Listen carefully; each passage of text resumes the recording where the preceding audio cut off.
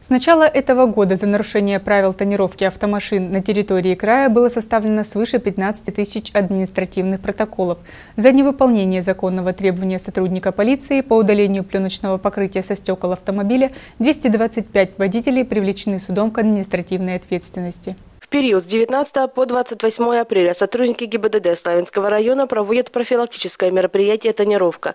Госавтоинспекция напоминает, что светопропускание ветрового стекла в автомобиле должно составлять не менее 75%, а передних боковых стекол не менее 70%. При остановке машины с нанесенной на стекла тонировкой водителю выписывается штраф в размере 500 рублей. Также сотрудник полиции выдает требования по удалению пленочного покрытия. В случае невыполнения указанного требования при повторной остановке водителя вновь привлекут к административной ответственности. В этом случае сумма штрафа составит от 2 до 4 тысяч рублей, либо арест до 15 суток. Крупные штрафы придется заплатить и за перевозку детей без автомобильного кресла.